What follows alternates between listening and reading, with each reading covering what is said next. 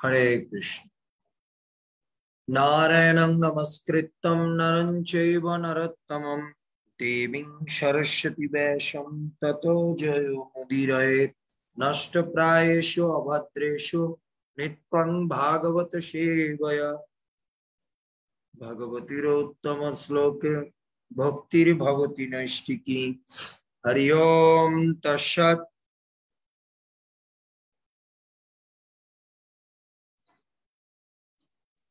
শ্রীমদ ভাগবতম চারশো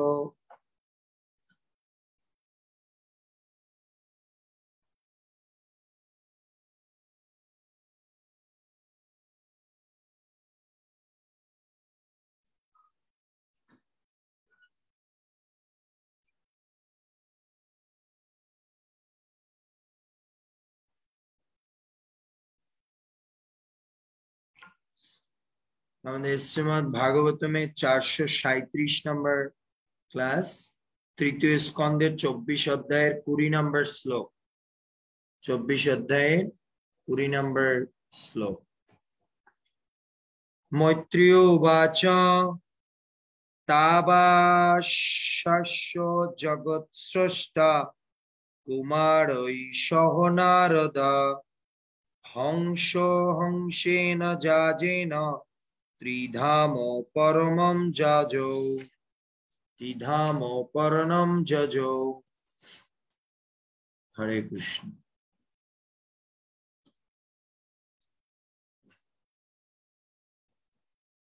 লীলানন্দিনী মাতাজি পড়ো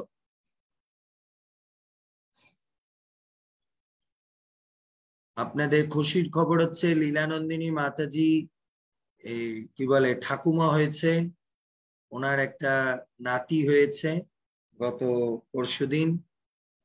আপনার সবাই আশীর্বাদ করবেন। নতুন নাতি হয়েছে ওনার। নাতনি সরি নাতি না নাতনি। হয়েছে গত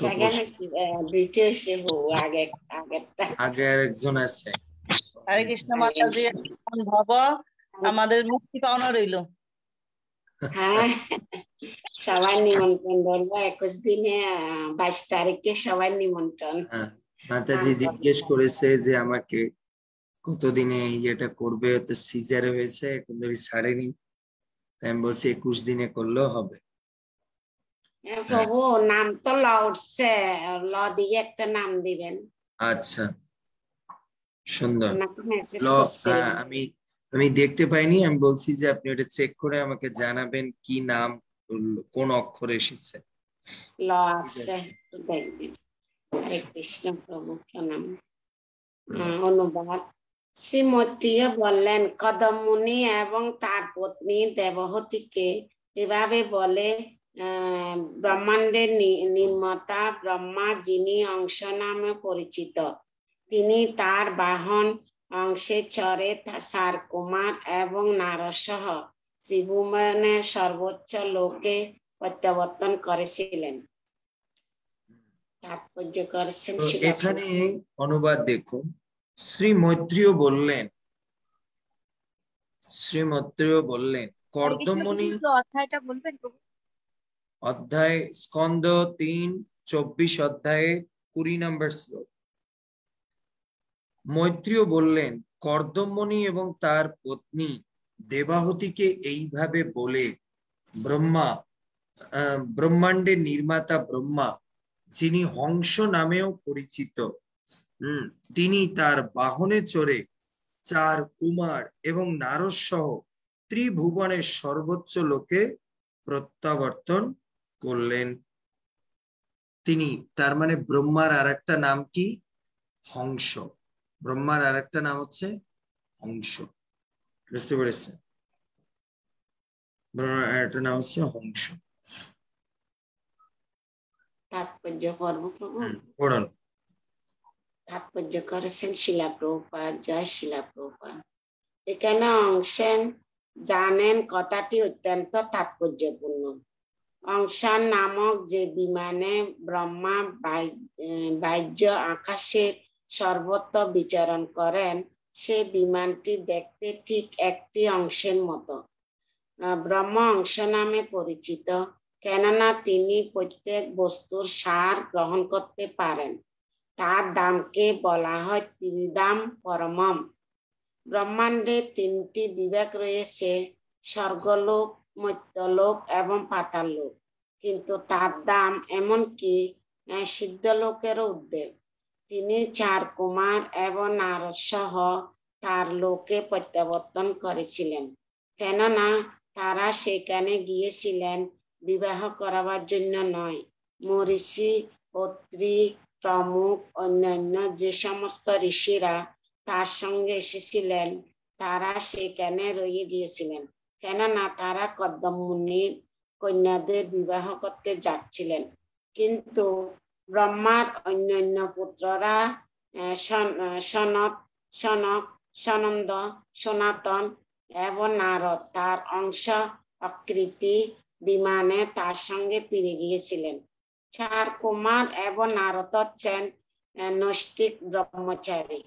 নৈষ্টিক ব্রহ্মচারী হচ্ছেন তিনি যিনি কখনো বীর্যপাত করেননি।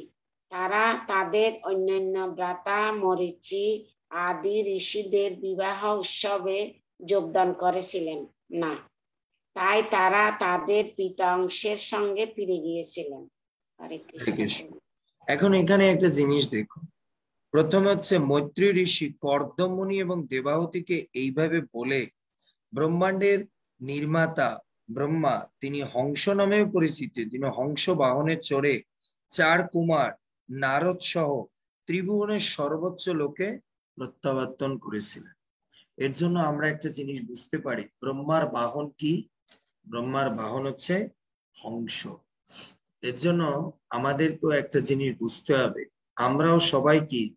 ব্রহ্মা। বিশেষ করে পুরুষ বা মায়েরা সবাই হচ্ছে ব্রহ্মা। কেন? সবাই সৃষ্টিকর্তা, সবাই সন্তানের জন্ম দেয়। এর জন্য সন্তানের জন্ম দিতে হলে আমাদের মধ্যে আমাদের এই মনরূপী বাহনটাকে কিসের মতো রাখতে হবে? কারণ ব্রহ্মার বাহন হচ্ছে কি? হংস আমাদের বাহন হচ্ছে আমাদের মন। আমাদের মনটাকে কি করতে হবে? হংসের মতো রাখতে হবে। হংস দুধ আর জলের মধ্যে থাকে, কিন্তু দুধটুকুই গ্রহণ করে, জলটা ছেড়ে দেয়। তাহলেই আপনি ভালো সৃষ্টি করতে পারবেন। এটা হচ্ছে শিক্ষা। তাই গভীরভাবে উপলব্ধি করুন। ব্রহ্মার বাহন ভগবান ইন্দুর বানাই দিতে পারতো। ইঁদুর দেয়নি কেন? হ্যাঁ না? হংস কেন দিয়েছে? এই যে আমরা ব্রহ্মার মন্দিরে গিয়েছিলাম পুষ্করে, সেখানে দুটো হংস রাখা আছে। গেটের সামনে একটা আর ওনার সামনে একটা। যেরকম গরুর দেবকে রাখে হংস। তার মানে হচ্ছে, সৃষ্টিকর্তা যারা হবে বা স্রষ্টা যারা হবে, তাদের চিন্তা চেতনা মন রূপী চিন্তাকে কি করতে হবে? হংসের মতো করতে কারণ আমরা মনের বাহনের উপরে চড়ি। এর জন্য মনকে যদি অংশের মতো আপনি ক্লিয়ার না রাখেন, সাধারা না রাখেন দুর্গন্ধময় করে দেন, তাহলে শেষ। আপনাকে পরিষ্কার, স্বচ্ছ হতে হবে, চিন্তা চেতনা। আরেকটা কি? হংস জল এবং দুধের মধ্যে থাকে, কিন্তু দুধটুকুই গ্রহণ করে জলকে বাদ দিয়ে। দেয় মনকেও সার বস্তু গ্রহণ করাতে হবে। আর দুর্গন্ধময় জিনিস বা নোংরা জিনিস মনের মধ্যে প্রবেশ করতে দেওয়া যাবে না। বাদ দিতে হবে। এবার তাৎপর্য দেখ এখানে হংসে ন জানের কথাটি অত্যন্ত তাৎপর্য। হংসযান নামক যে বিমানে ব্রহ্মা বাহ্য আকাশের সর্বত্র বিচরণ করে, সেই বিমানটি দেখতে ঠিক একটি হংসের মতো। ব্রহ্মাও হংস নামে পরিচিত, কেননা তিনি প্রত্যেক বস্তুর সার গ্রহণ করতে পারেন। ব্রহ্মাও প্রত্যেক বস্তুর কি? সার গ্রহণ করতে পারে। ব্রহ্মাণ্ডের তিনটি বিভাগ, স্বর্গ, মর্ত, পাতাল। কিন্তু এই ধামে এমনকি সিদ্ধ লোকেরও ঊর্ধ্বে রয়েছে কি? ব্রহ্মলোক। তাকে বলা হয় কি? সত্যলোক। ব্রহ্মার ধামের নাম কি? সত্যলোক। তিনি চার কুমার ও নারদ সহ তার লোকে প্রত্যাবর্তন করেছিলেন। কেন সেখানে গিয়েছিলেন বিবাহ করানোর জন্য। মরিচি অত্রি অন্যান্য যে সমস্ত ঋষিরা তার সঙ্গে এসেছিলেন, তারা সেখানে রয়ে গিয়েছিলেন। কেননা কর্দমণি কন্যাদের বিবাহ। কিন্তু ব্রহ্মার অন্যান্য পুত্ররা সনক, সনাতন সনন্দ সনাতন, নারদ ও হংসাকৃতি বিমানে তারা তার সঙ্গে ফিরে গিয়েছিলেন। সতোষ কুমার নারদ, এরা নৈষ্ঠিক ব্রহ্মচারী বীর্যবত কর্ণী তারা তাদের ভ্রাতাদের মরিচি আদি বিবাহের উৎসবে যোগদান করেছিলেন। তাই তারা তাদের পিতার অংশে ফিরেছে এর থেকে আমাদের কি বুঝিয়েছে? যে যারা ব্রহ্মচারী বা শুধু ব্রহ্মচারী না, গৃহস্থেরও, গৃহস্থ ব্রহ্মচারী যারাও, এখানে ব্রহ্মচারী বলতে শুধু এ না যে তাহলে গৃহস্থরা কি লাইসেন্স পেয়ে গেল? না। এখানে এই কথাটাকে আপনাদের এইভাবে নিতে হবে। ব্রহ্মচারীদের তো মানা যে তারা বিবাহে যাবে না।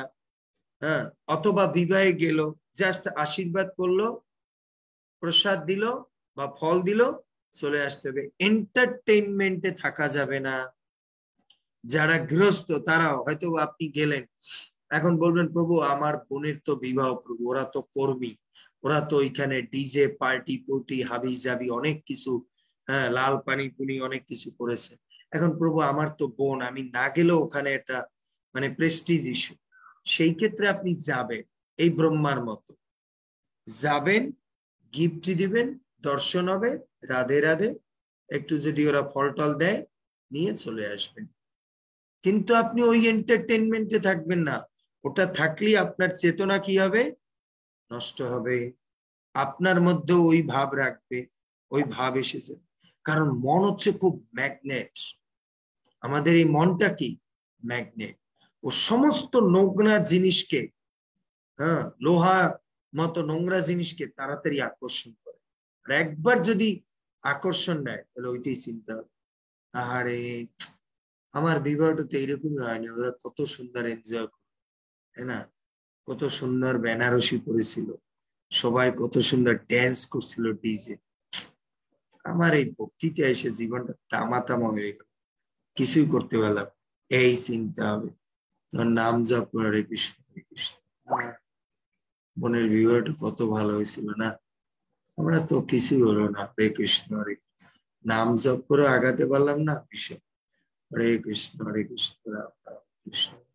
রাম, কত দেখছিস? অমা দেখছ? আবার ছেলে মেয়েরা তখন বলবে, মায়া কীভাবে? মা, দেখছ মাসির কেকটা কত খুব সুন্দর কেক বানাইছে। হরে কৃষ্ণ। এ, আমরা ভক্ত এসে চিন্তা করিস হরে কৃষ্ণ।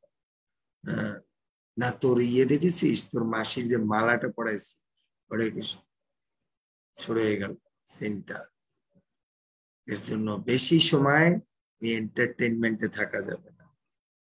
বুঝতে পেরেছে এর জন্য আমাদের বুঝতে হবে যে এটা খালি যে শুধুমাত্র ব্রহ্মচারী বা সন্ন্যাসী তাদের না, যে সমস্ত গৃহস্থ পারমার্থিক জগতে তারা কি করতে চায়, উন্নতি লাভ করতে চায় এন্টারটেনমেন্টে জানা আমাদের প্রমিলা মাতাজি, ওরে বিয়ায় যে সে যে কত ফটো কত বিভিন্ন স্টাইলে না?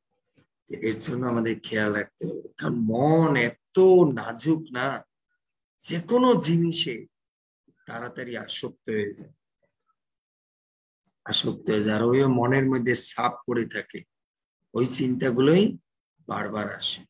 এজন্য যেগুলো ভক্তির অনুকূল না, সেখানে আমাদের এখন বর্তমান বাস্তবতা নিয়ে অনেক সময় বাঁচতে হবে। তাই এর জন্য কি করতে হবে? বাস্তবতা নিয়ে বাঁচতে গেলে এদের সঙ্গে, হরে কৃষ্ণ।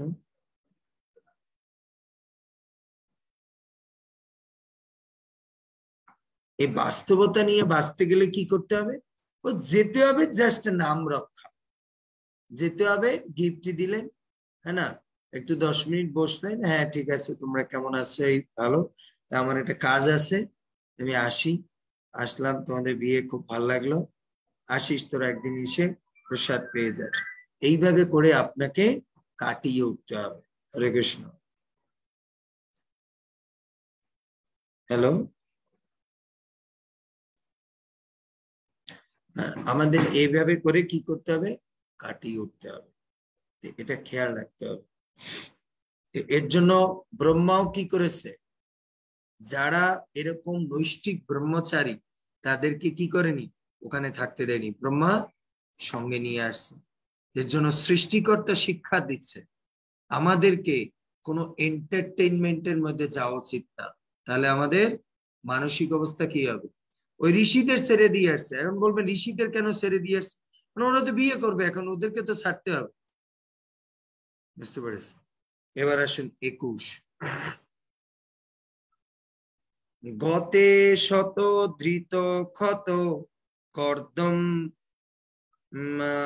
তেন চোদিত, যথা উদিতম সদুহিত বিশ্ব সৃজাম তত। হে বিদুর, ব্রহ্মার প্রস্থানের পর তার নির্দেশ অনুসারে কর্দমণি বিশ্বের প্রজা স্রষ্টা, সেই নয়জন মহর্ষিদের তার কন্যা, তার নয়টি কন্যা সম্প্রদান করেছিলেন। ব্রহ্মা যেভাবে বলেছে, সেইভাবে সেই কি করেছে? তার আদেশ মতো যে কন্যাদের সঙ্গে বিবাহ যে ঋষিদের সঙ্গে বিবাহ দিতে চেয়েছে তাদের সঙ্গে বিবাহ দিয়েছে। এখন এই কথা দিয়ে আমাদের কি শিক্ষা? ভাগবতে এটা আনলো আমাদের এরকম। অনেক সময় আমাদের গুরু মহারাজরা বলে না, আপনারা ভক্ত, আপনার মেয়েকে ভক্ত ছেলের সঙ্গে বিয়ে দিবেন। আপনারা ভক্ত, আপনার ছেলেকে ভক্ত মেয়ের সঙ্গে। আমরা কি আরে গুরুদেব বোঝে সব। ওনারা সাধু সন্ত। ওনারা প্র্যাকটিক্যাল লাইফ বোঝে না। ছেলে ভালো পাওয়া যায় না, এখন কি করব? আমরা কর্মী ছেলের সঙ্গে বিয়ে দিই, এর ভক্তি মাইন্ড আছে, আমার ছেলে, আমার মেয়ে ভক্ত বানাই তখন দুই দিন পর যখন ডিভোর্স হয়, তখন যায়, গুরুদেব, কি করব? মেয়ে তো এখন বিষ খেতে চায়। তখন গুরুদেব বলে, তোমাকে আমি বলেছিলাম বিয়ের আগে যে কি করবে? এরকম আছে, গুরুর উপরে গুরুগিরি করে অনেকে। হ্যাঁ এটা বলে গুরুদেবরা কি বোঝে? ওনারা মঠ মন্দিরে থাকে, ওনারা বাস্তবতা বোঝে না। হ্যাঁ না? ভালো ছেলে না পেলে এরকম এসব ভক্তরা এরা কি হবে? আমার স্ট্যাটাস দেখে ইয়ে করতে তখন সাধুর কথা বাসি হলে বলবে। তো এর জন্য দেখুন, বিদুরকে বলছেন, ব্রহ্মার প্রস্থানের পর তার নির্দেশ অনুসারে যেভাবে কর্দমণিকে বলছে, সেভাবেই বিয়ে দিয়েছে। সেভাবেই বিয়ে দিয়েছে। আমাদের তো বলে একটা আমরা করি আর একটা এজন্যই তো আমরা প্রবলেমে পড়ি। আবার অনেকে আছে, চিন্তা করে গুরুদেবের কাছে গেলে যদি ভেটো দেয় এর জন্য কি করে? বিয়ে শাদি দিয়ে তারপর মালা নিয়ে যায়। গুরুদেব একটু মালা দিয়ে দেয় তখন গুরু মহারাজ বলে, আর মালা দিয়ে কি লাভ? মালা টালা তো সব বদল করে আমার কাছে আসছে। এখন আর এই স্যাম্পল নিয়ে এসে কি লাভ? অনেকে যখন বোঝে যে যে গুরুদেব ভেটো দিতে পারে, এজন্য আগে থেকে মালা বদল করে নিয়েছে তখন গুরুদেবের কাছে একটু স্যাম্পল দেখাইতে যে আমরা কতটা অনুরক্ত না? কতটা অনুরক্ত আমার একটা বিদেশে ভক্ত আছে, সাউথ আফ্রিকা। শুধু গুরুদেবের স্লোগান হ্যাঁ লোকনাথ মহারাজ গুরুদেবের স্লোগান আমি গুরু ছাড়া কিছু বুঝি না এক মেয়ে বিবাহ দিছে মুসলমানের কাছে। আর এক মেয়ে দীক্ষিত, সে মেয়ে তো দীক্ষিত না। আর এক মেয়ে দীক্ষিত মহারাজ লোকনাথ মহারাজ বিয়ে দিছে কর্মী। সে তার পুরো পরিবার মদের আর মাংসের বিজনেস করে। সেই পরিবারে। বলছে আমার মেয়ে ভক্ত বানাই নেব এখন মেয়েকে শুনেছি আমি অন্য মিডিয়ার মাধ্যমে সে রান্না করে সবই। আর ও তো আর বাঙালি না ও তো ওই দেশের লোক ও তো সব এখন ওই বুঝতে পেরেছি? হরে কৃষ্ণ প্রভু। Yes, Prabhu. So you are coming ninth, na? Yeah, yes, uh, nine for Aramo. Uh, what time? I, I'm already in Delhi, London today. Oh, you are in Delhi. Yes. Yes, already London today. Uh, uh, tomorrow एक दो काम करना है एक दो Hmm. सब वगैरह वगैरह सब करना है uh, कल करेंगे फिर सैटरडे मॉर्निंग को taxi page i will send it. You will send me the uh, the address your hotel address. Okay i will send you a whatsapp message. Yes you will send. Uh, uh, no already sent. Okay you already sent. I am now in class. No problem i will book it in uh, mbt now it is scorching hot. No devotee here so you can available room is there. Krishna, I, krishna won't be better i don't uh, I think so, there is a fooding problem and you are close to the temple, MBT one time you can try. You also suggested you wanted to stay in the MBT. As your wish, I have no problem. Uh, but MBT AC, AC hai, everything is there. Why not AC? Okay. There is also AC. Okay. Okay. So if there is AC and everything yes, else, yes. Then MBT. Yeah. No problem. You come. If you see that if you don't like MBT, then we can go to the Krishna. Okay? Okay. Okay. Okay. So you come. Hare Krishna. Uh, right. Uh, so I will call you when I'll send it to the car.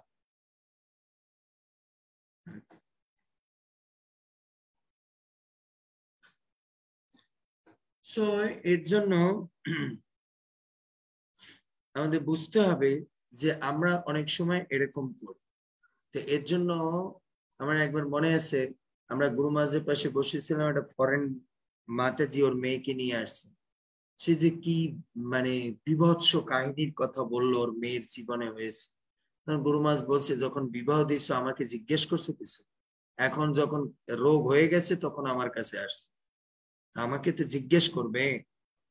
এর জন্য যেভাবে order দিয়েছে আমাদের সেইভাবে করা উচিত। এবার বাইশ আর তেইশ। মরিচেয় কলাম প্রদাত অনুসূয়াম অথ অত্রেয়। শ্রদ্ধাম অঙ্গিরসে অযৎ পুলস্তয়াহ বিভুবম পুলহায় গতিম যুক্তাম ক্রতবে চ ক্রিয়াম সতিম, খ্যাতিম চ ভৃগবে। অযৎসাৎ বশিষ্ঠ বশিষ্ঠায় অপি অরুন্ধতিম অনুবাদ কর্দমণি মরিচিকে কলা এবার শুনুন কোন মেয়েকে কে বিবাহ করেছে মরিচিকে দিয়েছে কলা নামের মেয়েকে অত্রিয়কে দিয়েছে অনুসুয়া নামের মেয়েকে অঙ্গিরাকে দিয়েছে শ্রদ্ধা পুলস্তকে দিয়েছে হরবিভু না নামক কন্যাকে দান করেছে পুলহকে গতি ক্রতুকে প্রতিব্রতা ক্রিয়া ভৃকুকে খ্যাতি এবং বশিষ্ঠকে অরুন্ধতী নামক কন্যা সমর্পণ করেছিলেন। সমর্পণ। এখন একটা প্রশ্ন বলুন তো। আচ্ছা এই যে দেখুন এখানে লিখছে মরিচি উম, কি করে? মরিচিকে প্রদায়ত দান করেছিলেন। এখন একটা প্রশ্ন হচ্ছে, এই যে কথাটা লিখেছে, কন্যাকে সমর্পণ করা হয়েছিল। আচ্ছা এখানে সমর্পণ বা দান, এই শব্দগুলো কেন বলেছে? বিয়ে কেন বলেনি যে বিয়ে দেওয়া হয়েছে? তার মানে হচ্ছে, যেদিন থেকে আপনি কন্যাকে দান করলেন বা সমর্পণ করলেন, তার উপরে আপনি হক রাখলে হবে। যে বস্তু আপনি দান করেছেন, আপনি যদি তার থেকে রিটার্ন চান, তাহলে এটা আপনার দুঃখ পেতে হবে। এর জন্য যখন উনি কন্যাকে কি করেছে? সমর্পণ করেছে। তার মানে তার সবকিছু কি? মায়া, মমতা তখন কি করেছে? ত্যাগ করতে হয়েছে। যদি আপনি চিন্তা করেন কি না হয়, কি না হয়, এরকম যদি দেন, তাহলে আপনি কষ্ট পাবেন। এর জন্য কন্যা দান করতে হয়। আর একটা জিনিস কি? কন্যা দান করুন। এখন একটা প্রশ্ন এখানে আমার। আচ্ছা মেয়েদেরকে বিবাহ দিলে পরে এই যে বলা হয় কন্যা দান করা হচ্ছে। আচ্ছা এই এই কন্যা দান কেন বলে? কন্যা দান কেন দেয়? কন্যা দান কেন বলে? বলতে পারে না। এর কারণ হচ্ছে কন্যা কোনো বিক্রির বস্তু না। কন্যা হচ্ছে দানের বস্তু। আর দান মানুষ সাধারণত কোন জিনিসকে দেয়? মূল্যবান জিনিসকে দান দেয়। এর জন্য মেয়েরা হচ্ছে কিমতি জিনিস, হিন্দিতে বলে। কিমতি মানে মূল্যবান জিনিস। এর জন্য এই জিনিস ওরকম কি বলে, যৌতুকের দ্বারা কেনা বেচা হয় একে দান করতে হয়। দ্বিতীয় একটা, এবার এই সাইড দিয়ে বলল এবার ওই সাইড থেকে যে ব্যক্তি দান গ্রহণ করে, দানের বস্তুকে সবসময় কি করতে হয়? মর্যাদা দিয়ে রাখতে হয়। দানের বস্তু যদি আপনি উল্টা পাল্টা করেন, তাহলে আপনাকে করতে হবে। ধরুন আপনাকে একটা গীতা দান করলাম হ্যাঁ না? এখন আমি অনুপমা মাতাজিকে একটা গীতা দান করছি। অনুপমা চিন্তা করল দূর আমার ঘরে তো পাঁচ খান গীতা আছে, এদের কি করব? এই গীতা খান বিক্রি করে দিয়ে এক, একটা কাজ করি। দুইখানা চুরি কিনে নি, তাহলে কর্মফল ভোগ করতে হবে। এর জন্য মনে রাখতে হবে, দানের বস্তু দিয়ে যদি আপনি ব্যবসা করেন, অনেকে আছে না, দানের বস্তু নিয়ে আপনি ব্যবসা শুরু করে দেয় মেয়েদের দিয়ে, স্ত্রী দিয়ে তারপরে কি বলে, চাকরি বাকরি করে ইয়ে করে যত সময় আপনি পারবেন, এর জন্য আমাদের প্রাচীন যুগে কোনো মেয়েকে দিয়ে ইনকাম করাতো না। কোনো মেয়ে বৈদিক যুগে শুনবেন না, মেয়েরা কিসের সাথে চাকরি করে? এটা আধুনিক যুগে এসেছে। এখন বাস্তবতার ক্ষেত্রে হয়তো এখানে অনেকে চাকরি করে, এটা খারাপ দৃষ্টিতে নেবেন না। কথাটা অর্থ আছে। কিন্তু হ্যাঁ এখন আমরা বাস্তবতার ক্ষেত্রে অনেক, যেখানে একবারে চললেই নয়, সেখানে এখন মেয়েরা চাকরি করতে হবে না? কিন্তু সাধারণত দানের বস্তু কখনো বিক্রি করতে নেই। দানের বস্তু কখনো বিক্রি করতে নেই। বুঝতে তার মানে দানের বস্তু দিয়ে পয়সা ইনকাম করতে নেই। বুঝতে পেরেছেন? এটা অপরাধ। বুঝতে পেরেছেন? এর জন্য আগের যুগে, বৈদিক যুগে শুনবেন না, কোনো মেয়েরা চাকরি বাকরি করেছে। তাই না? চাকরি বাকরি করেছে। এখন এখন মডার্ন যুগে ইকোনমিক্যাল কন্ডিশন খুব খারাপ। তো এখন কি করার? মেয়েদেরকে চাকরি করতে হবে তবে খেয়াল রাখতে হবে যে আমরা কখনোই যেন এটা না করি। এটা না করি। এই জন্য মেয়েরা হচ্ছে কিমতি বস্তু। তাদেরকে শাস্ত্রে অনেক উন্নত স্তরে তাদেরকে স্থান দিয়েছে। তারা হচ্ছে দানের বস্তু। আর দানের বস্তু তখন কি করেন? আপনার ঘরে আপনি ধরুন একটা গোল্ড মেডেল পেয়েছেন গিফট পেয়েছেন, তখন ওটা কি করেন? শোকেসে সাজিয়ে রাখে। ওটা প্রতি সপ্তাহে ধুলবালি না পড়ে ওটাকে ঝাড়পোষ দেন।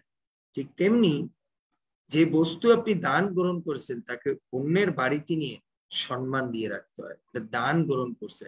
এটা কোনো যৌতুকের মাধ্যমে টাকা পয়সা দিয়ে কেনা বেচা করে। এজন্য আজকাল এরকম কেনা বেচা করে। এজন্য মারপিট হয়। মারপিট হয়। শাস্ত্র বুঝতে হবে, এই কথার অর্থ কি? কন্যা দান, কন্যা সম্প্রদান, দান করতে হয়। সম্প্রদান, তার মানে শ্রদ্ধার সহিত অর্পণ। তাকে বলা হয় সম্প্রদান। এরপর আসুন চব্বিশ। চব্বিশ নম্বর ছিল। অথ বর্ণে অদদাত শান্তিম জয়া যজ্ঞ বিতন্নতে বিপ্ররিষভান কৃত উদাহরণ সদারণ সমলয়াত অনুবাদ। তিনি শান্তি নামনি কন্যাকে অর্থরবার নিকট সম্পাদন করেছিল। এই শান্তির জন্য যজ্ঞ অনুষ্ঠান ভালোভাবে সম্পাদিত হয়। এইভাবে সর্বশ্রেষ্ঠ ব্রাহ্মণদের বিবাহ কার্য সম্পাদন করার পর তিনি তাদের স্ত্রী লালন পালন করতে লাগলেন। তিনি তাদের স্ত্রী লালন পালন করতে লাগলেন। তার মানে তারা বিবাহের পরে ঋষিরা তাদের স্ত্রীদের লালন পালন করতে লাগে। পঁচিশ নম্বর।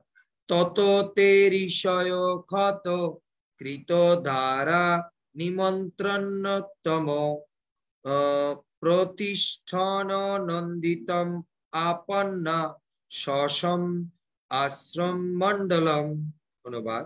হে বিদু, এইভাবে বিবাহিত হয়ে ঋষিরা কর্দমণির থেকে বিদায় গ্রহণ করে আনন্দিত অন্তরে তাদের নিজ নিজ আশ্রমে প্রত্যাবর্তন করেছিলেন। প্রত্যাবর্তন করেছিলেন। আনন্দিত অন্তরে তারা প্রত্যয় এখন এটা বলুন তো। আচ্ছা এই ঋষিরা আনন্দিত হয়েছিলেন কেন অন্তরে? সুন্দরী মেয়ে পেয়েছে, এর জন্য। হ্যাঁ? তাহলে তো বুঝতে হবে ঋষিরা ঋষি না, ভোগী। বাবা, আমার সুন্দরী বউ মিলছে। না। এরা আনন্দিত হয়ে ফিরছিল কেন? কারণ শ্বশুর পেয়েছে এত বড় পরম দ্রষ্টা এক শ্বশুর পেয়েছে, যিনি ভগবানের সঙ্গে সর্বদা কানেক্টেড যার সঙ্গে ব্রহ্মা এসে সর্বদা কথা এর জন্য যে এমন কন্যাকে বিবাহ করেছি, যার বাবা সাক্ষাৎ ভগবানকে লাভ করেছে। সাক্ষাৎ ব্রহ্মা তাকে আদেশ দিয়ে গেছেন আমাদের সঙ্গে বিবাহ দিতে। এর জন্য তারা পরম আনন্দে দিয়েছে এজন্য কেউ যদি শ্বশুর, শাশুড়ি বা যে পরিবারে বিবাহ করেছে, সে ছেলের পক্ষে হোক, মেয়ের পক্ষে যদি পরম ভক্ত ফ্যামিলি পায়, তাহলে তারা আনন্দিত হচ্ছে যা ভালো ফ্যামিলি মেয়ের বিয়ে করেছে। মেয়ের বাবা মা ভক্ত, পরিবার ভক্ত। আবার ছেলেরাও, মেয়েরাও চিন্তা করবে যা ছেলেটা পেয়েছি ভালো। বাবা মা ভক্ত, ইস্কনের দীক্ষিত না? সবাই পরিবারের সবাই বুদ্ধিমান, শান্তি মেয়েটাকে বিয়ে দিয়ে। এখন ভগবান কৃপা করে ওদের ভালো করে। বুঝতে পেরেছি? এবার ছাব্বিশ। সচ অবতীর্ণম ত্রিযুগম আজ্ঞায় বিধু ধ বিবুধ ঋষভ বিবিক্তে উপসঙ্গম প্রণম সমভাষত সমভাষত।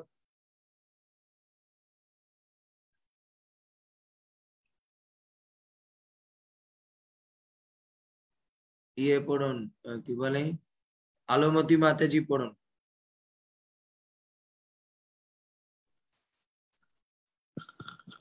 হরে কৃষ্ণ প্রভু প্রণাম। প্রণাম। অনুবাদ দেবশ্রেষ্ঠ পরমেশ্বর ভগবান বিষ্ণু অবতীর্ণ হয়েছেন জেনে কর্দমমুনি নির্জনে তার স্বামী পরবর্তী হয়ে তাকে প্রণতি নিবেদন করে বলতে লাগলেন। তাৎপর্য পরমেশ্বর ভগবান শ্রী বিষ্ণু অবতীর্ণ হয়েছেন জেনে কর্দমণি নির্জনে তার সমবর্তী সমপবর্তী হয়ে তাকে প্রণতি নিবেদন করে বলতে লাগে। এখন একটা প্রশ্ন আছে, কর্দমণি নির্জনে তার সমবর্তী হয়েছে?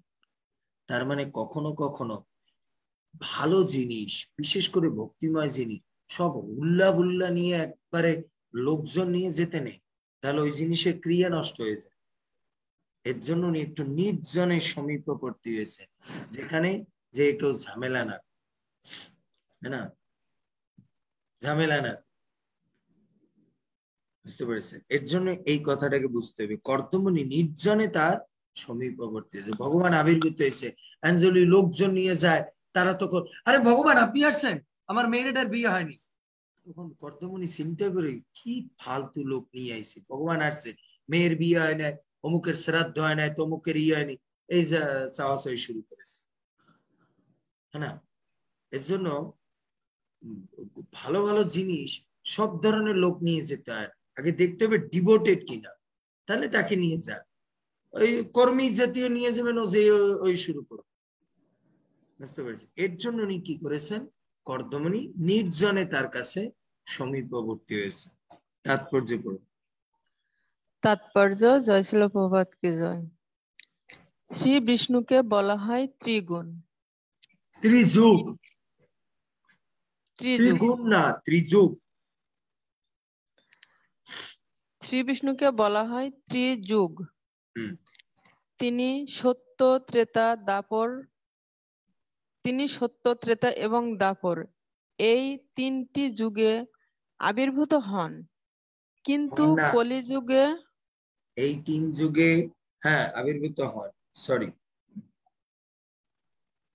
কিন্তু কলিযুগে তিনি আবির্ভূত হন না। প্রহ্লাদ মহারাজের প্রার্থনা থেকে কিন্তু আমরা বুঝতে পারি যে কলিযুগে তিনি ভক্তরূপে আবির্ভূত হন। এর জন্য ভগবানের এক নাম কি? ত্রিযুগ কেন? ভগবান সরাসরি ভাবে সত্য, ত্রেতা, দাপর এই তিন যুগে সরাসরি ভাবে আসছে। কিন্তু কলিযুগে ভগবান ডাইরেক্ট আসেন তিনি প্রচ্ছন্ন ভগবান রূপে আসছে। মানে নিজেকে ঢেকে ভক্ত রূপে এসেছে। হম। শ্রী চৈতন্য মহাপ্রভু হচ্ছেন সেই ভক্ত। ভক্তরূপে শ্রীকৃষ্ণ অবতীর্ণ হয়েছেন এবং যদিও তিনি নিজেকে প্রকাশ করেননি, তবুও রূপ গোস্বামী তাকে চিনে ফেলেছেন। কেননা ভগবান তার শুদ্ধ ভক্তের কাছে নিজেকে লুকাতে পারেন না। ছিল রূপ গোস্বামী যখন শ্রী চৈতন্য মহাপ্রভুকে প্রথমবার প্রণতি নিবেদন করেছিলেন তখনই তিনি তাকে চিনে ফেলেছিলেন। তিনি জানতেন যে শ্রী চৈতন্য মহাপ্রভু হচ্ছেন স্বয়ং শ্রীকৃষ্ণ এবং তাই তিনি তাকে প্রণতি নিবেদন করে বন্দনা করেছিলেন। এই কথা আমি- আর একটা জিনিস বুঝতে পারি যে সোনারু ব্যক্তি শোনাচ্ছেন তাই ভগবান তার ভক্তের কাছে কখনো কি করতে পারবে না? লুকিয়ে রাখতে পারবে না নিজেকে। নিজেকে লুকিয়ে রাখ সে যত যা কিছুই করুক। এর জন্য চৈতন্য মহাপ্রভু নিজেকে ঢেকে এসেছেন। কিন্তু তার অন্তরঙ্গ পার্শ্বদের কাছে সে নিজেকে ঢেকে রাখতে পারে প্রকাশিত হয়ে গেছি। কোনো না কোনো জায়গায়। ভগবান হচ্ছে সূর্যের মতো, আপনি কতটা ঢেকে রাখবেন? কোনো না কোনো জায়গা থেকে আলোর বিকিরণ হবেই না?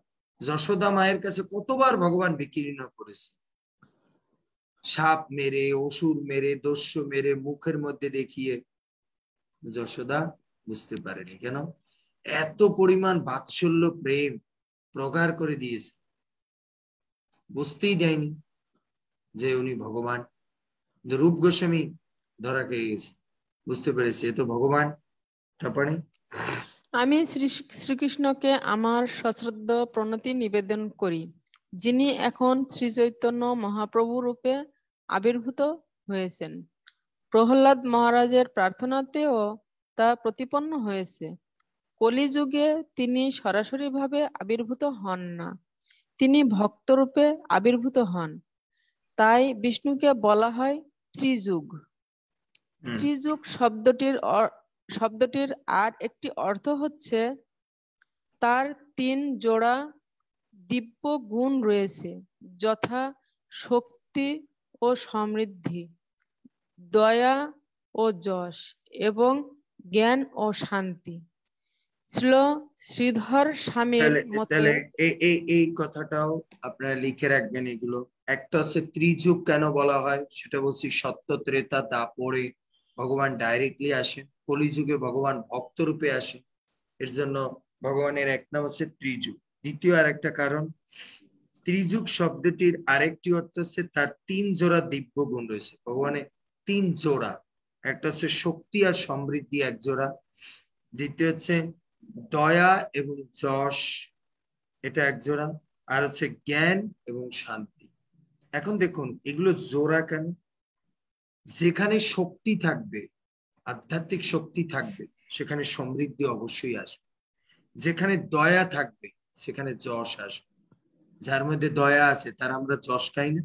দেখছ কত যশবান দয়াবান পুরুষ ভগবানের মতো। তখন আমরা যশ কীর্তন করি। আর যেখানে জ্ঞান থাকবে, সেখানে অবশ্যই শান্তি। যাদের জ্ঞান নেই, তারা হচ্ছে সবসময় অশান্তিতে ভোগে। মারপিট খাওয়া দাওয়া নিয়ে বাড়ি ঘর হ্যাঁ কাম ক্রিয়া এইসব নিয়ে মারামারি? এর জন্য ভগবানকে কি বলা হয়? ত্রিযুগ। তারপরে? ছিল শ্রীধর স্বামীর মতে তার তিন জোড়া ঐশ্বর্য হচ্ছে পূর্ণ সম্পদ ও পূর্ণ শক্তি পূর্ণ যশ ও পূর্ণ ঐশ্বর্য পূর্ণ সৌন্দর্য এবং পূর্ণ জ্ঞান ও পূর্ণ বৈরাগ্য। এই ত্রিযুগ শব্দটির বিভিন্ন বিশ্লেষণ রয়েছে। তবে সমস্ত বিদ্বান ব্যক্তিরাই স্বীকার করেন যে ত্রিযুগ মানে হচ্ছে বিষ্ণু। কর্দম যখন বুঝতে পেরেছিলেন যে তার পুত্র কপিল হচ্ছেন স্বয়ং শ্রী বিষ্ণু তিনি তখন তাকে তার প্রণতি নিবেদন করতে চেয়েছিলেন। তাই কপিল যখন একলা ছিলেন, তখন তিনি তাকে নিম্নোক্তভাবে প্রণাম করেছিলেন এবং তার মনোভাব ব্যক্ত করেছিলেন। হরে কৃষ্ণ প্রভু, প্রণাম। এখন এখানে দেখুন, ত্রিযুগ বলতে কিন্তু কাকে? কৃষ্ণকে বুঝায় না। ত্রিযুগ বলতে কাকে বুঝায়? ভগবান বিষ্ণুকে বোঝায়। ভগবান বিষ্ণুকে বোঝায়। বুঝতে পেরেছেন? এজন্য ত্রিযুগ বলতে কাকে? ভগবান বিষ্ণুকে বোঝায়, কৃষ্ণকে না। আর একটা জিনিস এখানে বলছে। কপিল দ্বিতীয় হচ্ছে, কর্দমণি বুঝতে পেরেছিলেন তার পুত্র কপিল হচ্ছেন স্বয়ং বিষ্ণু। তিনি তখন তাকে প্রণতি নিবেদন করতে চেয়েছিলেন। তাই এখানে আর একটা জিনিস হচ্ছে, আপনার গর্ভের সন্তান যদি ভগবান হয় বা ভগবানের পরম ভক্ত হয়, সে আপনারও প্রণম্য। তাই তার বাবা তাকে প্রণাম করেছে। তাই কপিল যখন একলা ছিলেন, তখন তিনি তাকে নিম্মুক্ত ভাবে হম, প্রণাম করেছিলেন এবং তার মনোভাব ব্যক্ত করেছিলেন তাই তিনি বুঝতে পেরেছিলেন, যদি সকলের সামনে বসে সন্তানকে প্রণাম করি, এতে হয়তো আমার মর্যাদা হবে, কিন্তু আমার ছেলের প্রশংসার হানি হবে। কেন? বাপ ছেলেকে প্রণাম করলে এটা মানুষ ছেলের প্রশংসা করবে? নিন্দা করবে। এর জন্য তিনি আলাদা করে কি করেছে? কপিল দেবকে প্রণাম করেছে। কারণ কেউ তো জগতে জানে না যে কপিল ভগবান। সবাই তো জানে ছেলে। এর জন্য আলাদা করে। কপিল যখন একলা ছিলেন, তখন নিম্নোক্ত প্রণাম করেছিলেন এবং মনোভাব ব্যক্ত করেছিলেন। এখন কি মনোভাব ব্যক্ত করেছে শুনুন। অহো পাপ সমাননম নিরয়ে সরমঙ্গলই কালেন ভূয়সানুন্নম প্রসীদ তিহ দেবতাহ দেবতাহ হম ইয়ে কি বলে সীমা মাতাজি পড়ুন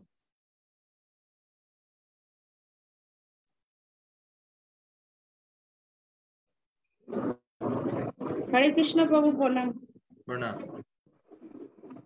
অনুবাদ কর্দম মুনি বললেন আহা যে সমস্ত দুর্দশা ক্লেষ্ট জীবাত্মা তাদের পাপ কর্মের ফলে সংসার বন্ধনে আবদ্ধ হয়ে নানা প্রকার দুঃখ দুর্দশা ভোগ অবস্থা?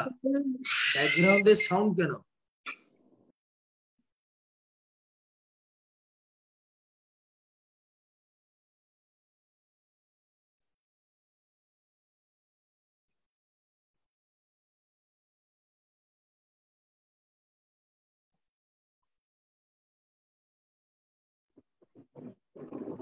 হরে কৃষ্ণ প্রভু। কর্দম মুনি বললেন আহা যে যে সমস্ত দুর্দশা ক্লেষ্ট জীবাত্মা তাদের পাপ কর্মের ফলে সংসার বন্ধনে আবদ্ধ হয়ে নানা প্রকার দুঃখ দুর্দশা ভোগ করছেন।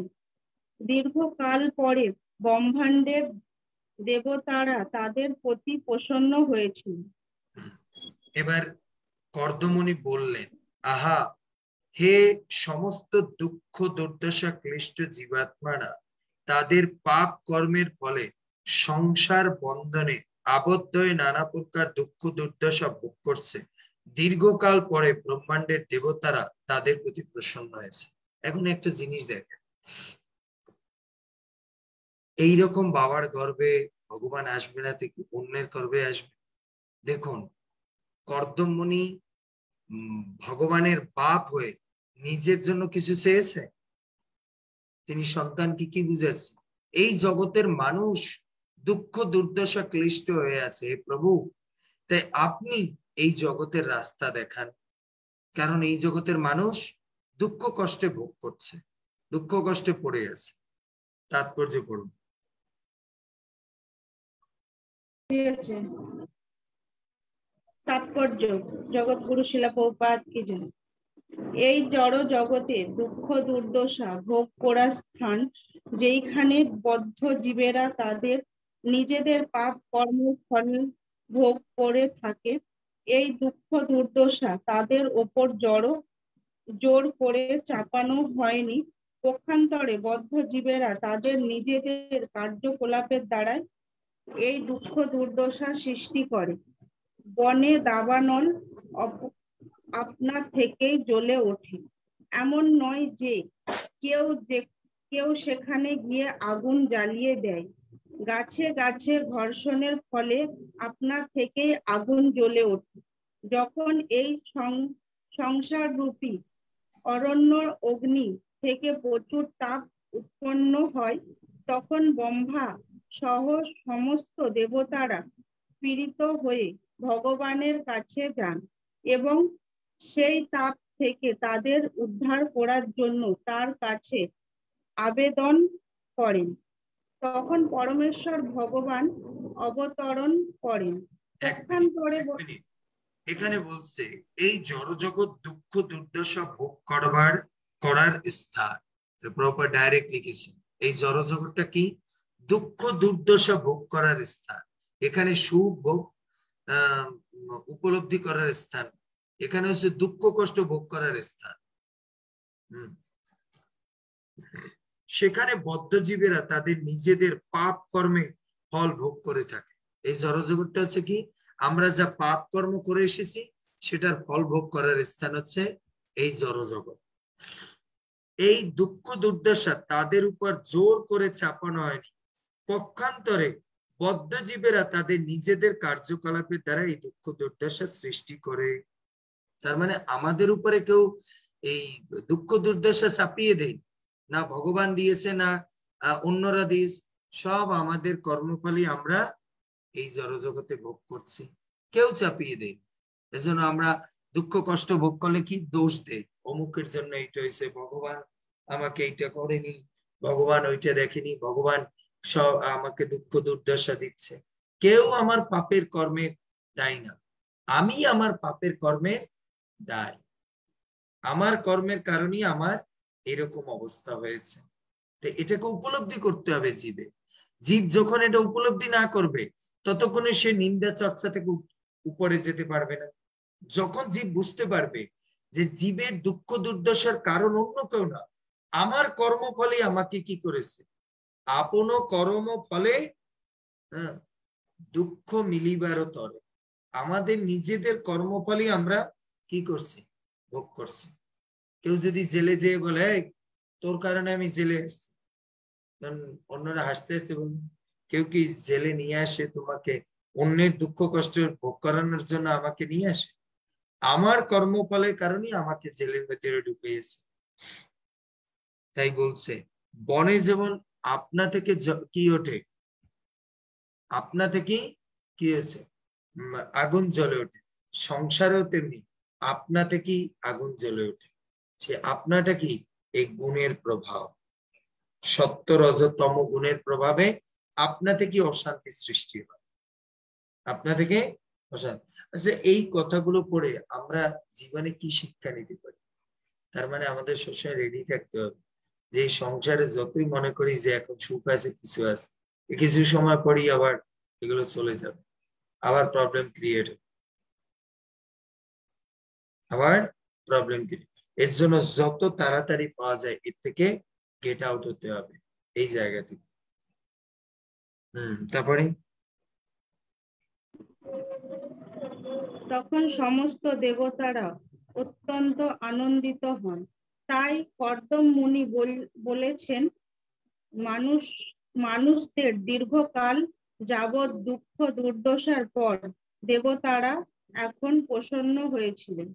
কেননা ভগবানের অবতার কপিল দেব এখন আবির্ভূত হয়েছিলেন। হরে কৃষ্ণ তো এখানে বলছে, প্রণাম যে পক্ষান্তরে দেবতারা যখন বদ্ধ জীবদের দুঃখ দুর্দশা দর্শন করে ব্যথিত হন, তখন তারা সেই দুঃখ দুর্দশা উপশমের জন্য ভগবানের সমীপবর্তী হন। ভগবান তখন কি করেন? অবতরণ করেন। তাহলে আমাদের দুঃখ দুর্দশা, এর থেকে শিক্ষা কি? দেবতারা লাঘব করতে পারে কারণ দেবতারা নিজেরাই তো দুঃখ দুর্দশায় পড়ে। আমরা শুনি না, অসুররা রাবণ দেবতাদের পিটিয়ে ভাগিয়ে দিয়েছে স্বর্গলোক থেকে। হ্যাঁ না? হিরণ্যকশিপুর স্বর্গলোক থেকে সমস্ত দেবতাদের পিটিয়ে ভাগিয়ে দিয়েছে। যা- ওনারা নিজেরাও তো সাফারিংস এর মধ্যে আছে। এর জন্য যখন জীব প্রবলেমে পড়ে, তখন দেবতারাও কি করতে যায়? ভগবানকে ডাকতে যায়, প্রভু, আপনি চলুন এই পৃথিবীর অবস্থা ঠিকঠাক করে আসি। ভগবান যখন অবতরণ করেন, তখন সমস্ত দেবতারা আনন্দিত হন। তাই কর্দমণি বললেন, মানুষদের দীর্ঘকাল যাবৎ দুঃখ দুর্দশার পর দেবতারা যখন প্রসন্ন দেবতারা, দুঃখ দুর্দশার পর দেবতারা এখন প্রসন্ন হয়েছেন। কেননা ভগবানের অবতার কপিল দেব এখন আবির্ভূত হয়েছে। তার মানে এই কথাটার দ্বারা আমরা একটা শিক্ষা নিতে পারি কি?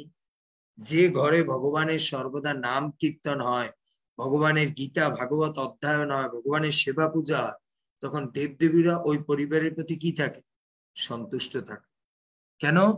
তারা দেখতেছে যে এদের সেবা পূজা, নাম জপ, নাম ধ্যান জপ, এর মাধ্যমে ভগবান অত্যন্ত প্রসন্ন হবেন এবং তাদের গৃহে আসবেন। তাদের গৃহে আসবে আর তারা গৃহে আসলে কি হবে? উম দেবদেবতা সবকিছুতে আপনার সুখ শান্তি বজায় থাকবে। আঠাশ নম্বর। বহু জন্ম বিপক্ষে ন সাম্যক যোগ সমাধিনা দ্রষ্টুম যজত যজন্তে যতয় শূন্য অগ্রারেষু পদম পদম।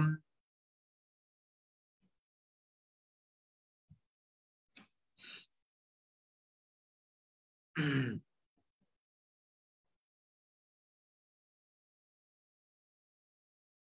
সর্বেশ্বরী মাতাজি পড়েন তো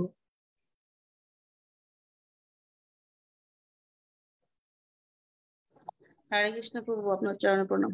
প্রণাম। অনুবাদ। বহু জন্ম ধরে বহু পরিপক্ক যোগীরা পূর্ণ সমাধি যোগের নির্জন স্থানে পরমেশ্বর ভগবানের শ্রীপাদ পদ্ম দর্শন করার চেষ্টা করেন। বহু জন্ম ধরে বহু পরিপক্ক যোগীরা পূর্ণ সমাধি যোগে নির্জন স্তরে পরমেশ্বর ভগবানের পাদপদ্ম দর্শন করার চেষ্টা করে। এই কথাটার মধ্যে দিয়ে কি বোঝা যায়? মানুষ হাজার হাজার লক্ষ লক্ষ বছর নির্জনে বসে ধ্যান করে ভগবানকে, ভগবানের পরমাত্মাকে দর্শন করার চেষ্টা করে। আর ভক্তিযোগী সিম্পল ভগবানের সেবা করে, নির্দেশ পালন করে, ভগবানকে আবির্ভূত করিয়ে ফেলে। আবির্ভূত করিয়ে। তারপরে? তাৎপর্য শিল প্রভুপদ জয় এখানে যোগ সম্বন্ধে কয়েকটি গুরুত্বপূর্ণ বিষয়ের উল্লেখ করা হয়েছে। বহু জন্ম বিবেক কেন? কথাটির অর্থ হচ্ছে বহু জন্ম জন্মান্তর ধরে পরিপক্ক যোগ অভ্যাসের পর।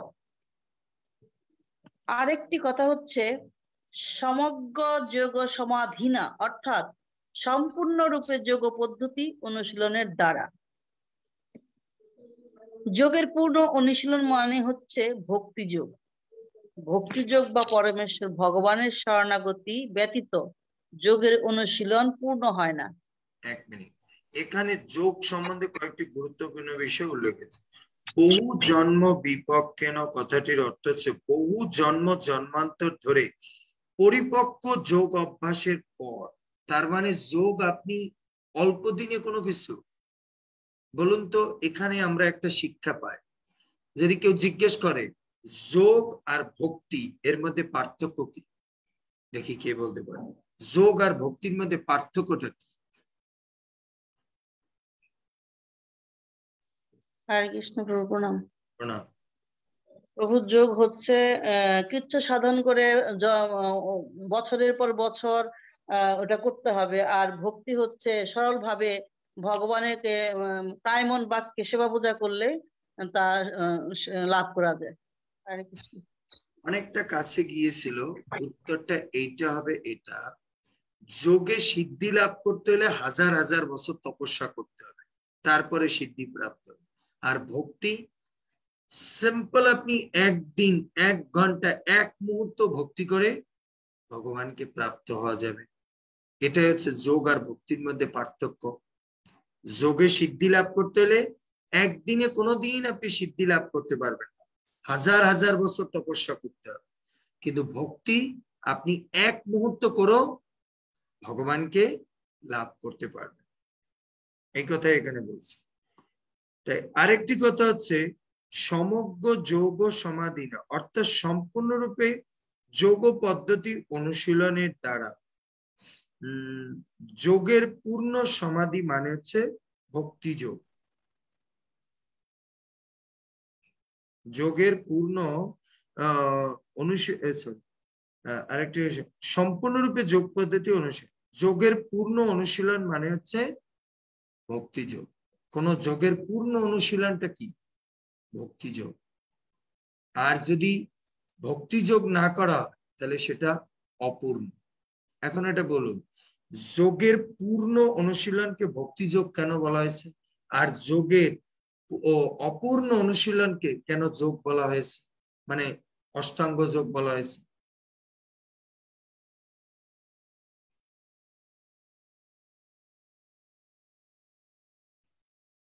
বলুন।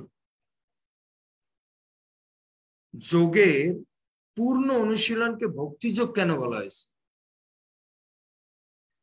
আর যোগের অপূর্ণ অনুশীলনকে ধ্যান যোগ জ্ঞান যোগ এগুলো কেন বলা হয়েছে?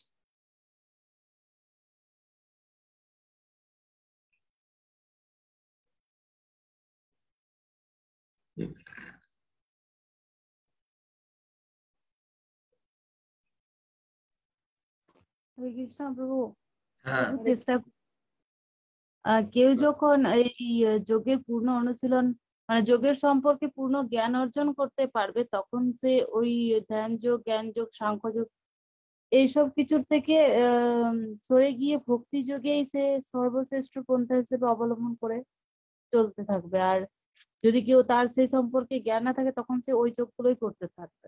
এটাই মনে হচ্ছে। এক্সেলেন্ট সুন্দর বলছে। আর আর কেউ?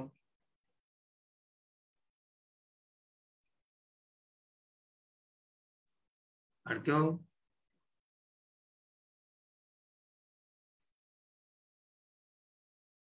আমি বলছি যে যোগের পূর্ণ অনুশীলন মানে হচ্ছে ভক্তি যোগ। কেন? আপনি যোগের পূর্ণ অনুশীলন মানে হচ্ছে যুক্ত করে, না? আচ্ছা দুটো হাওয়া যুক্ত করা যায়? দুটো শূন্য বস্তু যুক্ত করা যায়। এর জন্য যোগের পূর্ণ অবস্থা হচ্ছে ভগবানকে দর্শন করা। আর দর্শন করে তার সেবায় যুক্ত হওয়াটাই হচ্ছে যোগের পূর্ণতা। আর না হলে ওটা অপূর্ণ যোগ। অপূর্ণ যোগ। তাই না? দুটো শূন্যর সঙ্গে তো শূন্য যোগ করা যায়। একের সঙ্গে দুই যোগ করা যায়, একের সঙ্গে তিন যোগ করা যায়, একের সঙ্গে এক যোগ করা যায়, শূন্যের সঙ্গে শূন্য যোগ করা যায়। এর জন্য বলা হয়েছে, যোগের পূর্ণ অনুশীলন মানে হচ্ছে ভক্তি যোগ আপনি যোগে যোগের পূর্ণ অনুশীলন করতে চান, তাহলে সেটা হচ্ছে ভক্তি যোগ ভগবানের সেবা করা। ভক্তি যোগ বা পরমেশ্বর হ্যাঁ পরম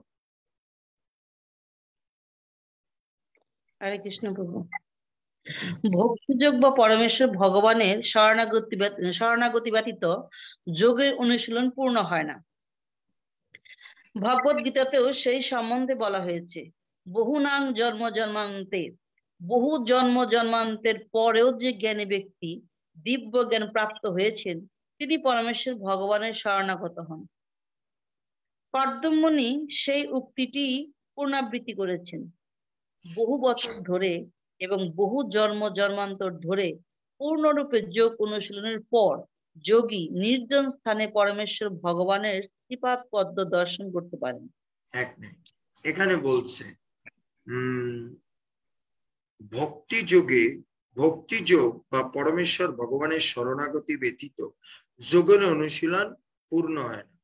ভগবত গীতাতেও সেই কথা বলা হয়েছে, বহুনাম জন্ম জন্মান্তে জ্ঞানবনম প্রপদ্যন্তে বাসুদেব সর্বমিতি সমহাত্মা সুদুর্লভ। বহু বহু জন্মে পর যে জ্ঞানী ব্যক্তি দিব্য জ্ঞান প্রাপ্ত হয়েছে, তিনি পরমেশ্বর ভগবানের শরণাগত হন যে দিব্য জ্ঞান। কর্দমণি সেই উক্তিরই পুনরাবৃত্তি করেছেন। কর্দমণি সেই কথাটারই পুনরাবৃত্তি করেছেন যেটা শাস্ত্রে বলেছে।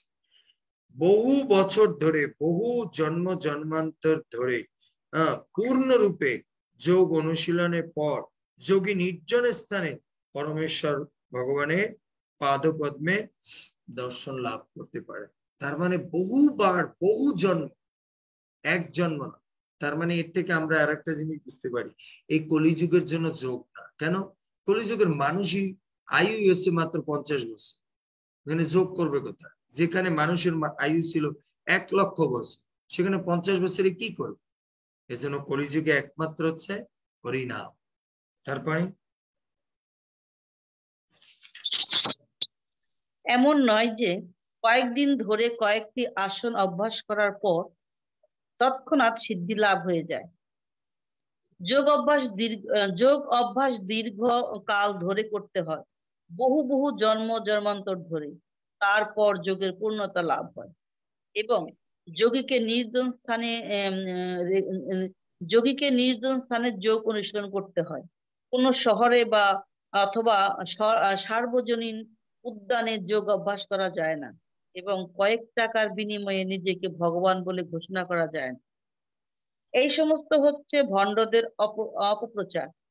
যারা প্রকৃত যোগী, তারা নির্জন স্থানে যোগ অনুশীলন করেন এবং বহু জন্ম জন্মান্তরের পরও তারা যদি পরমেশ্বর ভগবানের শরণাগত হন তাহলে কেবল সফল হতে পারেন।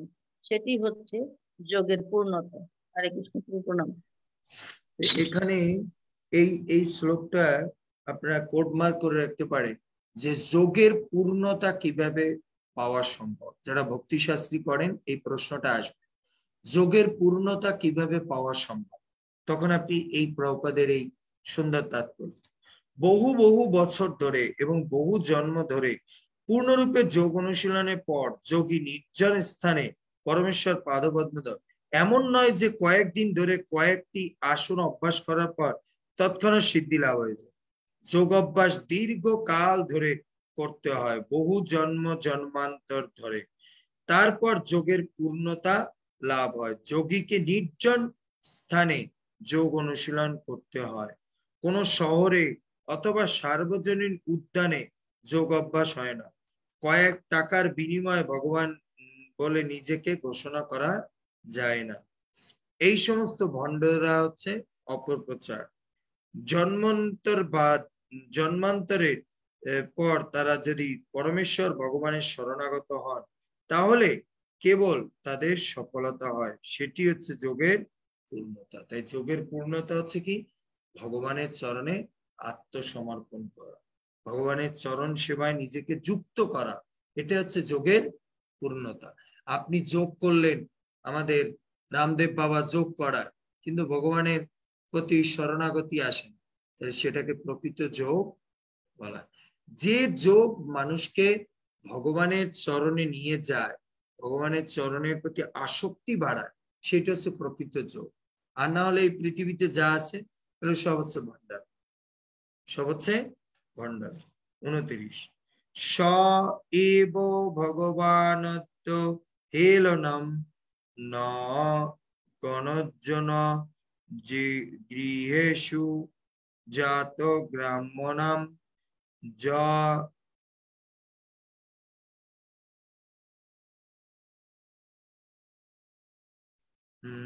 যোগে কোন শহরে বা সার্বজনীন উদ্যানে যোগ অভ্যাস কর। কয়েক ঘণ্টা বা টাকার বিনিময়ে ভগবান বলে গ্রহণ করা যায় না। এই সমস্ত বর্ণ। তাই যারা প্রকৃত যোগী, তারা নির্জন স্থানে যোগ অনুশীলন করেন। এবং বহু জন্ম জন্মান্তরে তারা পরমেশ্বর ভগবানের শরণাগত হন। তাহলে কেবল সফল হতে পারবে। সেটি হচ্ছে যোগের পূর্ণতা। পূর্ণতা। তার মানে হচ্ছে যোগ করতে হলে একটা নির্জন স্থান দরকার। কেন? একা থাকতে শিখতে হবে, যোগ অভ্যাস করলে যদি আপনি একা থাকতে না শিখেন, তাহলে আপনি যোগ করতে পারবেন সবার মধ্যে থাকলে আপনার এন্টারটেনমেন্ট আসতে হবে। কিন্তু যারা যোগী হবে, তারা এই সমস্ত বৈশ্বিক জিনিস থেকে নিজেকে আলাদা করে রাখবে। এরা হচ্ছে কি বলে জেনারেল যোগ। কিন্তু যারা ভক্তি যোগী, তাদের যোগ হচ্ছে কি? ভক্তদের নিয়ে। ভক্তদের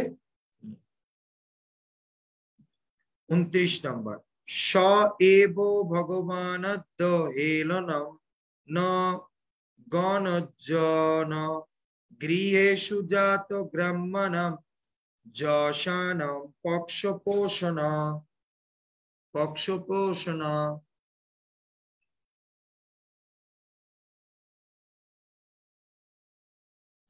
জয়া মিত্র মাতাজি পড়েন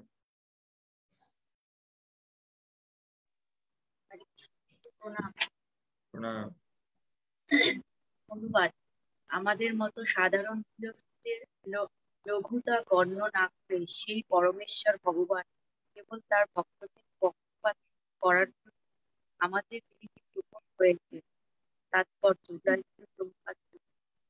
ভগভক্ত ভগভক্তরা ভক্তেরা ভগবানের এক যদিও তিনি জন্ম জন্মান্তর ধরে স্থানে যোগ অনুশীলনকারী আমাদের মতো অনুবাদ।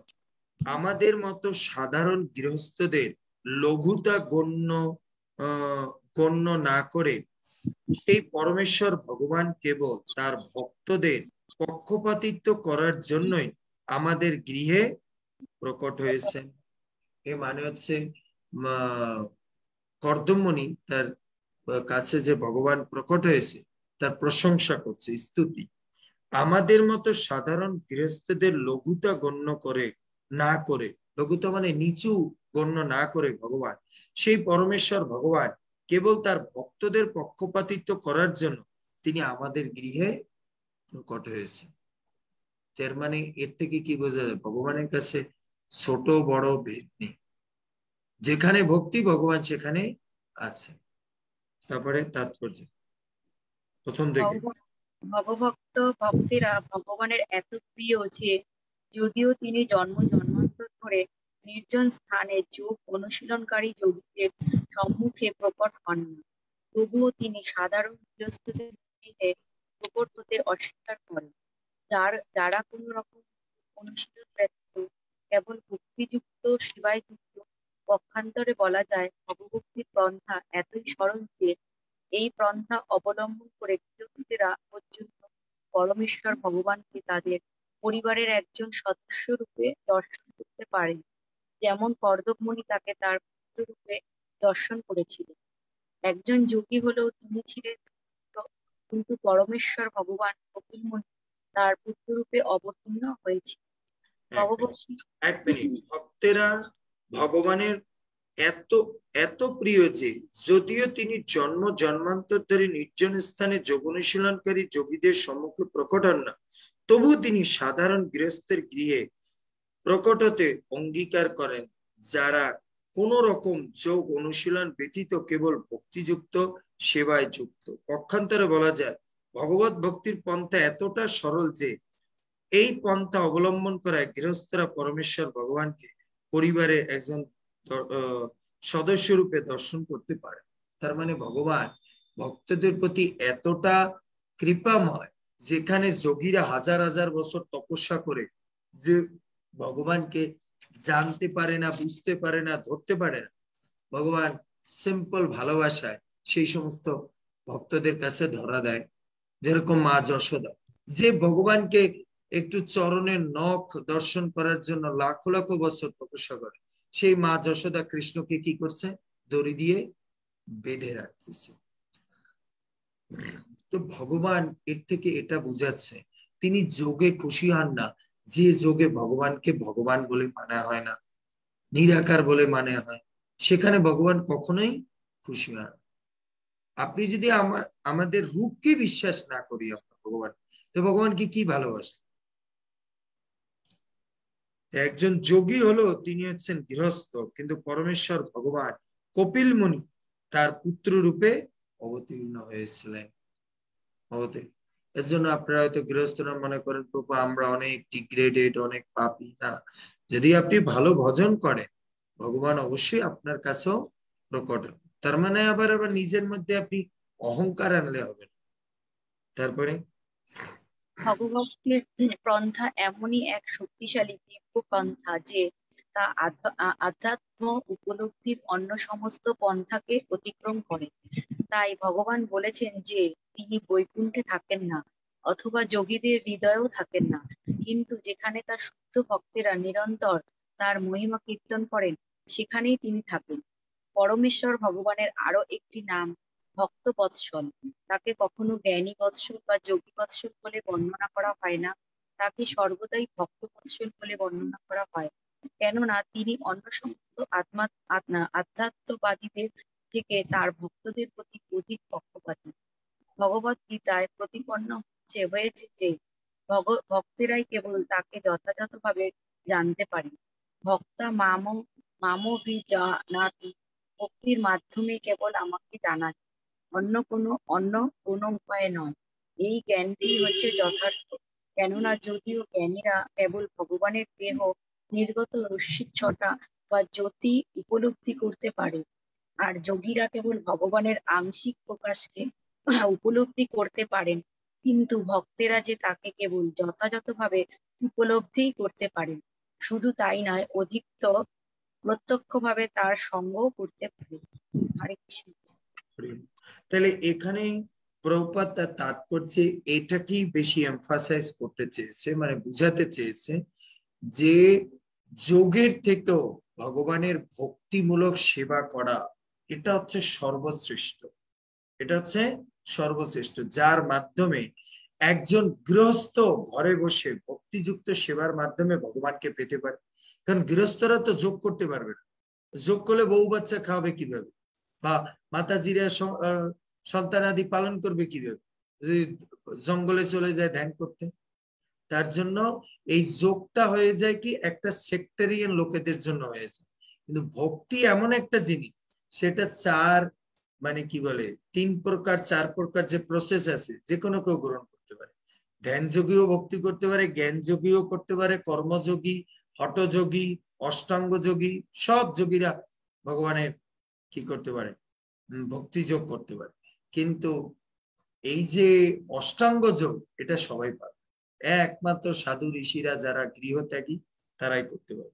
এর জন্য ভক্তি যে কতটা সাবলাইম প্রসেস সহজ, সরল প্রসেস এটাই ভগবান এই কি করেছে?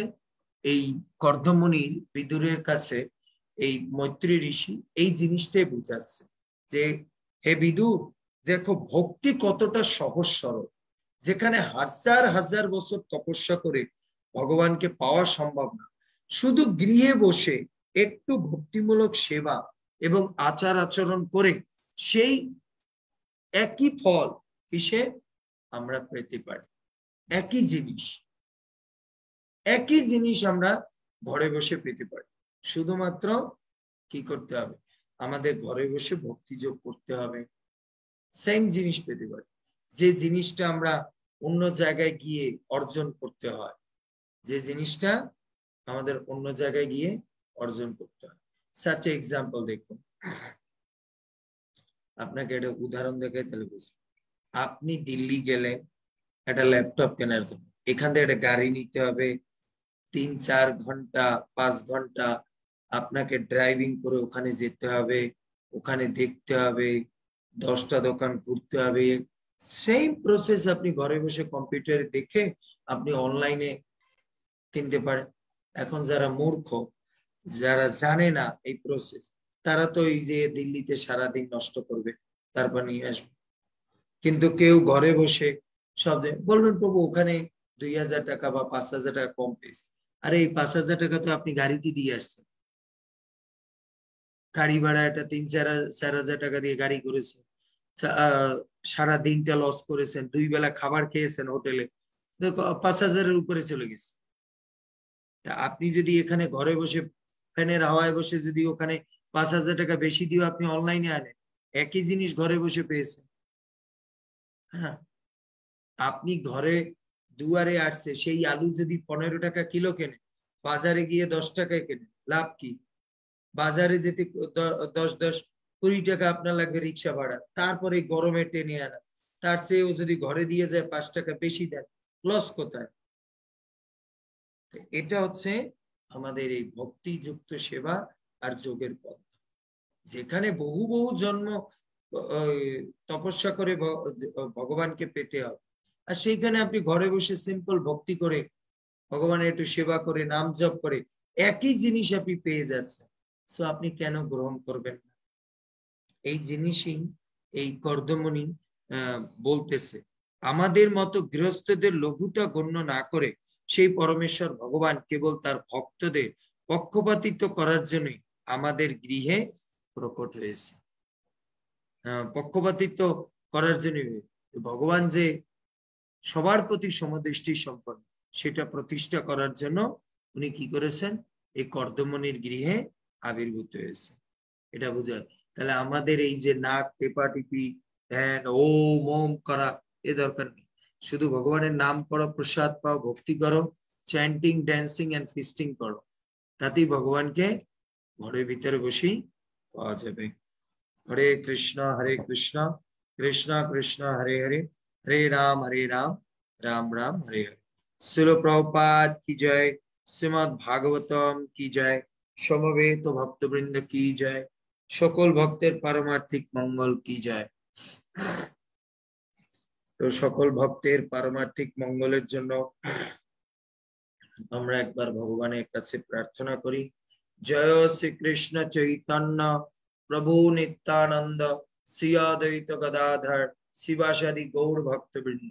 হরে কৃষ্ণ হরে কৃষ্ণ কৃষ্ণ কৃষ্ণ, হরে হরে হরে রাম হরে রাম রাম রাম, হরে হরে।